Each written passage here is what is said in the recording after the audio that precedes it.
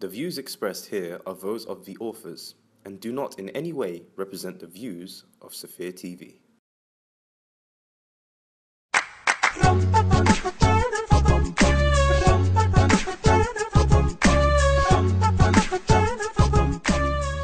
Assalamu alaikum, hello, and welcome to another edition of Ladies First. I'm joined here by my wonderful panelists, Sayeda Saba, Francesca, and Tamara. Um, this is another episode of a Muharram special. Ladies, I'd like to discuss the importance of women and mothers in particular, especially when discussing Muharram. As we all know, a lot of the stories were saved, and we know a lot of the stories because a lot of it was relayed by women. And during the month of Muharram, we relay a lot of these stories again, which were saved and, you know, discussed with women so that we wouldn't forget the events of Karbala and what happened. So if it wasn't for their um, recalling everything that happened and taking in detail, we wouldn't know as much as we do about our faith today. So what I wanted to discuss with you was, um, as we all know, in Islam, women are looked, mothers are looked upon quite favorably. And there is a verse in the Quran that says, I think it's a hadith or a verse in the Quran where we should respect our mothers. And it's mentioned three times. Who, how, how do, It's a hadith. okay. Well, it basically says your, mother, your mother, your mother, and then, And then your, your father. father. Yeah. So, what I wanted to ask, because I want to bring it back into the relevance of what these women did to um, oracle what happened to women today in 2015 and the importance of mothers. Do you think in our community that the role of mothers is still celebrated, or is it just a word of mouth kind of thing? Do you kind of lip service that really we're not honoured? It's just looked upon as another job that women have to do. But are we really valued? Are we really celebrated? Do you think? Hmm. I think it's looked at as a job, to be quite honest. I think everything is these days. Hmm. It's almost like everything is a duty. You have to do it, just do it, get on with it, kind of thing. There's no real appreciation shown, mm-hmm. especially for a role of a mother. I think it's a huge role. You're a mother. You're you're you're also a wife. Mm-hmm. You're a daughter. You've got so many things that you have to you have to live up to. Um, and as a mother, I think you know you're not just nurturing these children you're educating these children you're trying to give them moral values. But that doesn't just come from the mother it should come from the husband as well. You know the the, the responsibility should be shared. So the mm. onus it shouldn't just lie totally on the mother to be the the person to be educating and nurturing the child. The husband has to set an example as well. So i think it's a family system but i don't think women are given that level of mm. appreciation that they should. See, I would tend to disagree there, especially at um, madrasas, There's always a push for your mother, your mother, and you know on In the religious circles, though, right? yes, in talk and um, that well, no, they're having No, events whereby yeah. your, you know, um, certain um, people's birthdays, etc. Buy your mother a rose and think yeah, about what yeah. Even did, you mentioned, like in previous in a previous episode, when we were talking about marriage, etc. You know, the importance of the mother, especially like in Pakistani community, I assume, right? Mm, mm, I don't know, definitely, isn't it? Like yeah. you know, she has higher status, Yeah. and the husband respects her word no matter what. Yeah. Mm. even if it sometimes causes issues with his wife. Yeah. but yeah, I think religiously we do have that status for the mother. It's quite, it's quite high. It's quite you know, but socially I'm not sure anymore. I don't know how it's Like different. yeah, I just you know just watch TV, children's TV series. Mm. You know, children's channels and the way the children talk back. You know, answer back. Good old talking back, Seriously, yeah. I mean it, and I think. Uh, I don't know. That's not how it used to be in my time. I, I sound we like an probably oldie. did it ourselves, but- but didn't realise. I think it depends. I mean, I think sometimes we have this um, notion to say, "Oh, back in the day, it was Yeah. right," like as if we didn't have any problems. It's so romantic yeah. back in the olden times. But I think, I think uh, you know, children naturally push boundaries. I think mm. some of them are more vocal with it, i.e., answering back, and I think others mm. do it in maybe more subtle ways, like okay. You know, my mum doesn't want me to put nail varnish on, so I'm just going to put a little bit on that mm-hmm. kind of thing. So I think mm-hmm. I think there's a big difference. But I think um, I, th- I think one of the things that, in terms of the community, I think what happens, um, and this is not obviously for all communities, but I know in, in some areas, the bur- I use the word burden. That's probably not the right word to use, but it, the responsibility is fully put on the mother for mm. everything. Mm. Well, yes, And, it is. and Islamically, that's mm-hmm. actually not how it's supposed to be. I mean, mm. you know, the education of the Islamic education of the child, and I mean, correct me if I'm wrong here, but I, it's supposed to be the male, the father that instills that in the children. But quite often, what happens is I don't really know. I don't know. I, I don't know how. I don't know if there is a rule to it, I don't know but if generally I don't know if speaking, there's a the rule ch- to it, but hmm. You know, the, But the children do look up to their father. they do. You but I know, think- boys do generally. Um, They do, but I think what happens is because of the way obviously our you know there's a lot of pressure within society, like economically as well. So quite often the father is taken out of the home, um, and the responsibility is left on the, on the mother on the quite mother. a lot. And if the mother is working as well, um, it's a huge huge responsibility for it to be on her to. And I think a lot do of the time we romanticize how wonderful being a mother is. You know, childbirth is not exactly a fun experience. You No, know, it's not. It- it's not like in the black and white movies where you go in, your hair is done. But then again, you're that's looking why. fabulous, and here's the mm. baby. It mm. often doesn't work No. out that way. Mm-hmm. And also, there can be some competition between mothers. Like, okay, I've cooked a three-course meal. My house is lovely. I'm having a, a majlis tonight at two, mm. and I'm teaching Abdul Bob. You know, Abdul. I'm teaching Abdul Bob. You know, recitation of Surah. Blah blah blah. What have you done today? It's like, well. I got up, I got dressed, and that was an achievement I've got a, a Snickers bar stuck to my abaya. I'm late again. So a lot of the time, I, I think, you know, for me personally, I'm, I, I I have a son, alhamdulillah, but I'm not your quote unquote maternal kind of, oh, if I see a baby, I'm going to start crying and wailing and I just want to take a picture. I'm, I'm the kind of sister that if your colleagues are looking at baby pictures, I'm walking past. I've, I've gone through that, you know may have nieces and nephews, you know, I mentor children. I don't really, I've gone through that stage. Oh, look, he's having, having an apple. Mm. Congratulations, mm. that's lovely, but it's not for me. Mm. Um, do you think we kind of ostracize people that don't have children? Because just because they're not your children, say like you're teaching a madrasa or you're guardian to some children or your friends have children, you might be really receptive and open you might take care of them better than their mothers do because you know I'm responsible for this child for this set time. But do you think we kind of ostracize women who don't have children may not aspire to be mothers? Not everybody wants to be a mum. What do you think? I don't know. I think it depends on the individual. I think some will turn around horrified if another woman says, "I don't want children," as in, "Oh, why wouldn't you?" Mm, it's Um, so natural, yeah. Mm-hmm. personally, like I've got friends that don't have children. They don't want children. Um, You might change your mind later. but it's a, it's their choice, and how is that mm. going to impact on me? It's not. It's none Yeah. of my business. so and it's not- usually the opposite, to be honest. Usually, you know, women are in race with time, you know, which is why many people, you know, get rushed to marry mm. anyone, you know, passes by, passes by because you know they're they're, they're aware of the biological uh, clock. biological exactly biological clock.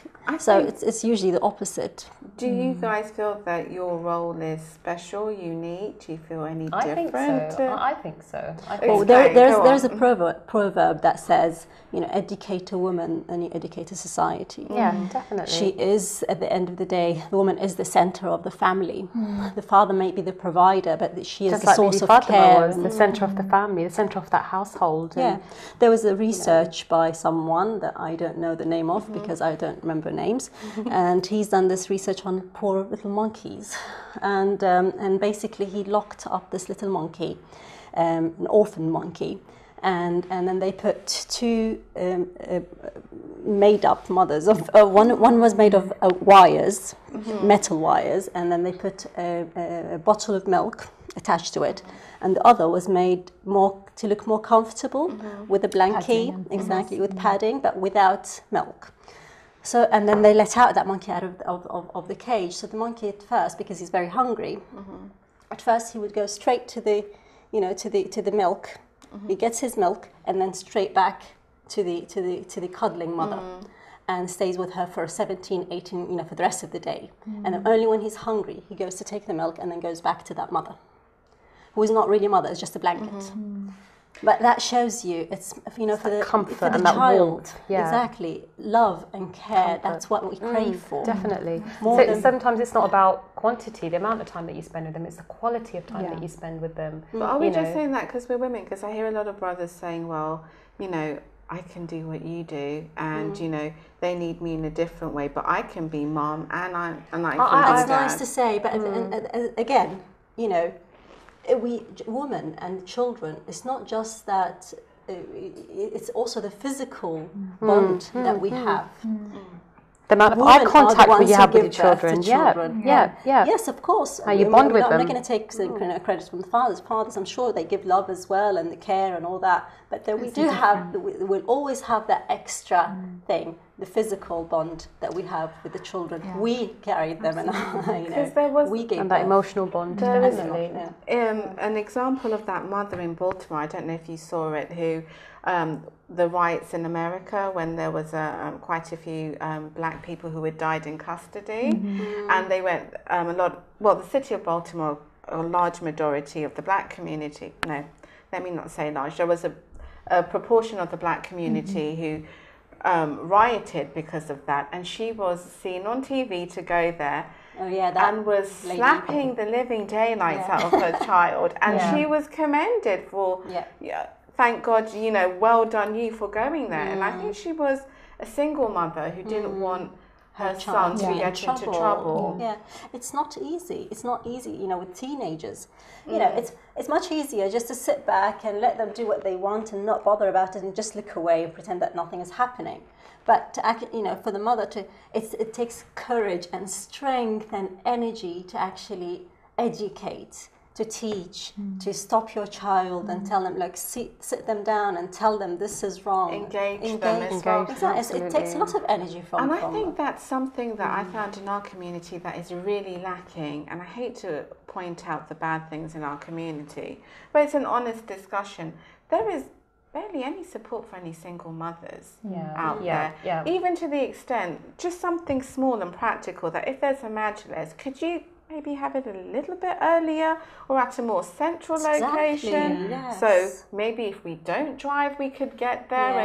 And because at the end of the day, our job, like um, you know, the ladies in the past, is to relay knowledge in whatever way we can. And as mothers, a lot of the time we do that in stories, like they did, you know, the events of what happened in Muharram, etc. And that's how children learn through stories and seeing things. But if we don't have a community that you know, has a little section for the toddlers and maybe provides them. But How are we We're meant to do this? taken for granted. You know, deal with it. It's, it's taken for granted. Somewhere I think something also ignored. if, if you're if you're in a community where the majority of women are married, they're busy with their own families. So mm. quite often people don't people overlook these people. But a lot of the time when I go to majlises, they come with their fam- the husband, Yeah. the, The mu- children. the, The gran- children, the the, grandparents. yeah. So they've taken up six places. You're squeezing in with you, your children on your lap and on your head, and Mm. you know it's like.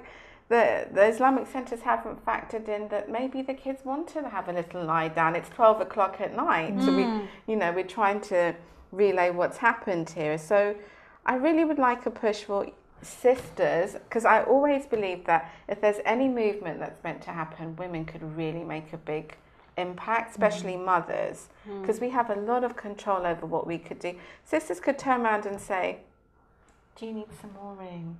Can I can I move my bag for you to sit down?" Instead of we don't even have that. A lot of I the time, Um, no, I think I agree, and I think you're right there. But I also think that in order for that to happen, there needs to be support coming from above as well. If Yeah, you're saying that there's an issue in the centres and the centres are not catering, then you need to be going to the top and saying to whoever it is in charge, you know, we need to be doing something and we need to be implementing things. But I do think there's, um, you know, as I said, if you're a sister and you're married and you're busy dealing with your family. Majority of people are not really going to be interested if your kids are sitting on your head, um, well, because they're I busy do. with I'm their own. always trying to be like, should I move my bag? But you may be coming Yeah, from a different. You may be coming from a different, different point of view, uh, or, or, or you may see things differently. That may be mm. something that you know it's a mm. community. Whereas mm. this this lot are thinking, well, this is my family, and I'm going to protect my family. I'm not really interested in your family. So I think, to an extent, you're right. And I think that if there is enough people saying the same thing and feeling the same way, then yes, there is something that can be done about it. But you know, it takes a lot to get people going. And I think there's a lot of clashing cultures as well. Yeah, mentality. There's a, there's a totally different mentality that we're dealing with, especially when it comes to the elder generation or or maybe the generation before that, and they don't think about these things. Maybe because we're having to face different times. Mm. We, us women, want to know more. We want to be more proactive in society. But we've got our kids. So- we've got to do. Not all of us can afford nannies and childcare. No. We need to bring them Mm-hmm. with us. that that's where well then you can your family should be quite supportive. But what if you don't know, have a family? Well, that's another that's a Yeah. different ballgame, then isn't it? it. Then there's other sources you have to go Great. to. You know. So we've got so much to deal Which with. is, We've, yeah, we've we've got to be, you know, happy, happy, joy, joy, Hmm. mothers. Which is why, you know, that is why we, we have this res- special respect for mothers because we Yeah. do a lot. What mothers do a a lot lot. No, you know, maybe women. you know from the outside that people don't see it, don't realize it, but they do a lot. And You many don't mothers have to like be happy they're all the time. I, I think I think I've you know when you're upset you're upset, and I've shed a few tears. My my kids have hugged me, and I've loved it. But I think you I think you get that sympathy and that comfort from your children as well. I mean, it's nice to be able to get that. Why should a woman has have to come across as being strong all the time? I don't think it's, But it's don't the right. you always get um, the example of, say, Bibi Fatima, who was, you know, a wonderful, infallible woman, and let's strive to be her, but. Mm. You're like, well, I'm stuck in traffic and I'm trying to I don't think trying to get to Imaginers with a Snickers bar stuck to my head. I don't think there's anything wrong with striving, but I Yeah. also think you have to be able to sit back and say, you know what, I'm being the best parent I Yeah. can be. I'm being good enough. Can't be Yeah, harsh on yourself stop all the blaming time. ourselves. Exactly. Stop not- criticising we're not. ourselves. Exactly, and I think Yeah. the other thing as well is in terms of, and I, I'm, I can speak from my own Mm-hmm. experience here. I only really appreciated my mum when I had my own. Yeah. Yeah, the So age old saying, you know, what your parents used to say, you won't know until you have them Exactly, and I only really appreciated the stuff that my mum had to do when I had my own. I think I don't, you know, kids kids pick up and they see things, and they mm. see more than what we understand that they mm. see. Mm. And I think that um, quite often what happens is, you know, kids do turn around and they recognise the efforts that their parents go to.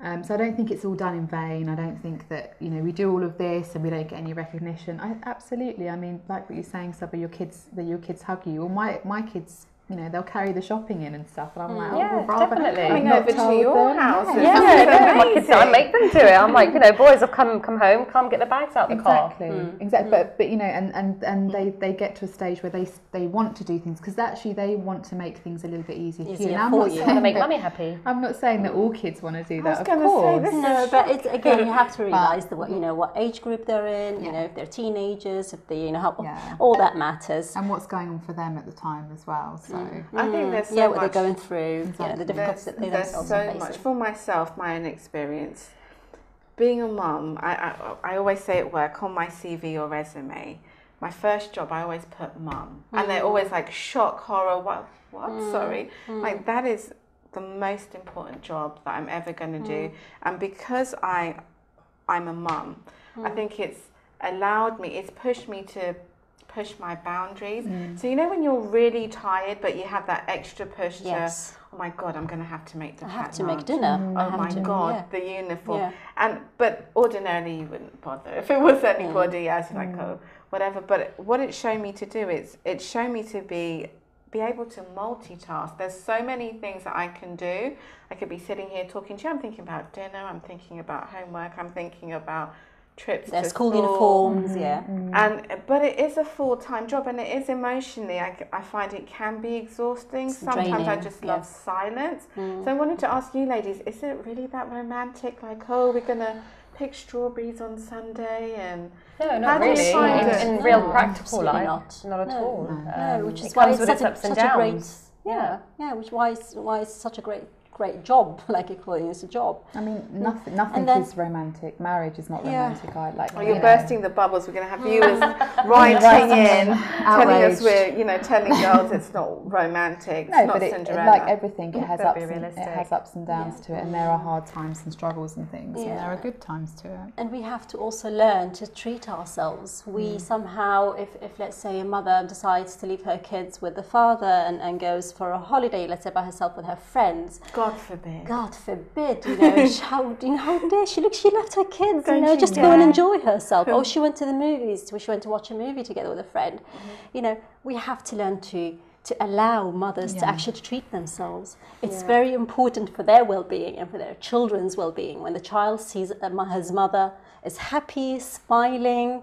You know, she comes back with you know strong and and and re, you know she's she energized, refreshed. Exactly. It- They, But we're living in such a feel good. judgmental society. We it's do, we do, If it's yeah. not your Your mum own saying something, it's your siblings, yeah. brother. If it's not your brother, it's somebody else. There's always your somebody who's mother-in-law got. saying no, this Yeah, is the way yeah. to do it. When in fact it should be celebrated, it should be encouraged. I want to especially give, um, you know, a shout out, I guess, to those mothers who have children with disabilities. Um, I work with um, some children who have disabilities as well, and I'm always in awe of those mothers who go the extra mile. It helps me. I really go to get inspiration from them, really, because they're so patient Yeah. and they're so loving and they're giving. So it helps me, you know, when you're having a bad day, to just to To keep it in and not lash yeah, out. So, mm. and it can be, you know, being a mother of a child that has a disability. As you know, in this society, there are so many taboos. And being Muslim and practicing Muslim, and you can't access, say, you have a, a, a child that is deaf, Mm. very difficult for them to access Islamic knowledge if Mm. you're deaf, if you're autistic. Even going to majlises can be a nightmare, you know Yeah. um, because they might get bored, they might be hyperactive, you don't know. So I really want to, I commend those sisters who, you know, take their children everywhere because they have no other choice to, or they need to learn. So, you know, I mm. take my hat off to mothers because there's so much that I'm learning, and mm. I, I feel that if I didn't have my son, I wouldn't be the person that I am today. Mm. But it is a test, and I'm I'm all, my mantra is my son says, "Mum's mummy's always tired." At school, they said, "Oh, so name one thing about your mum," and I was always tired. Any of you had that experience? Do you sometimes feel like you can't be a superhero? Oh. Well, we, yeah, There's so definitely. much there are times. yeah. Exactly. Again, we're living in such hard times. We're having to work. We're having to cook. Yeah. We're having to pick up behind the kids. We're having to do everything. So naturally, you have days where you you do fall apart and think, oh my god, this is getting too much. But then you know, my motivation are my children. Um, when I look at them and they give me a hug and a kiss, and that just boosts me to sort of carry on with my with my day to day routine. Um, What about if your children aren't super religious? Or aren't really Well, what nice. do we do? Do you and- feel like exactly Yeah. like they're, They've got their just- own problems. You get a call from the school because your beloved son, who you thought was an angel, has actually been at the bus stop doing God knows what. Yeah. Yeah, but I think you've got to be realistic. What was you doing at that age? You probably I was reading. Quran, Yeah, okay.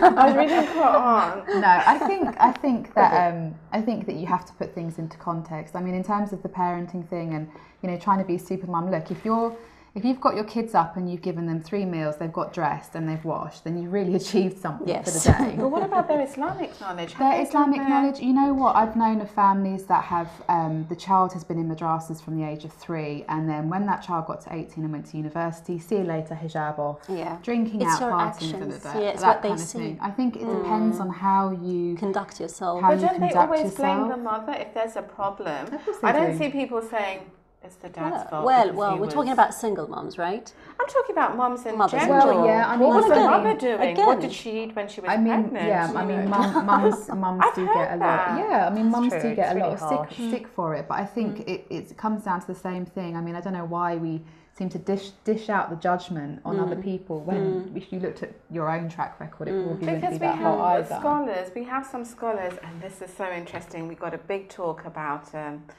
you know, the child, you know, transgressed all bounds, and then the husband turned around to the mum and said, "When you were pregnant, did you pick a fruit from a tree and not ask for permission?"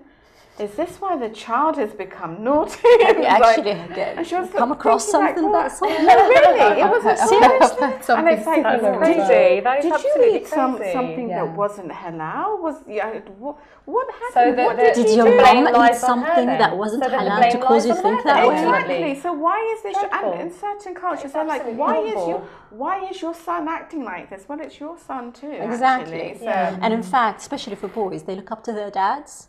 So they tend to follow the footsteps of, of their fathers. You know, they, they look up to they, they are their role models.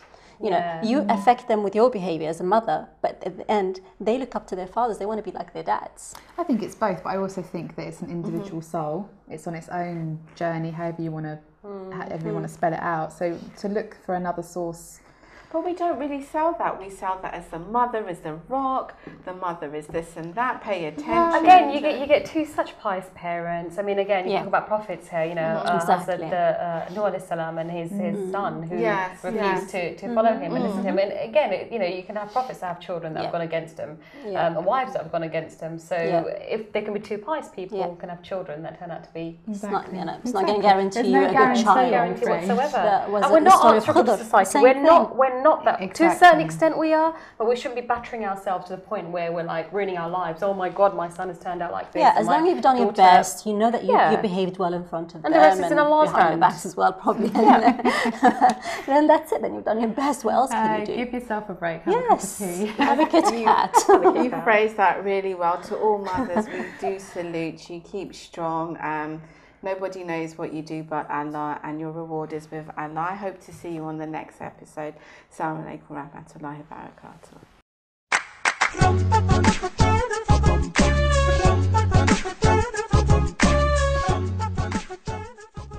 If you have been affected by any of the issues raised in Ladies First, then the following organizations may be able to provide help and advice.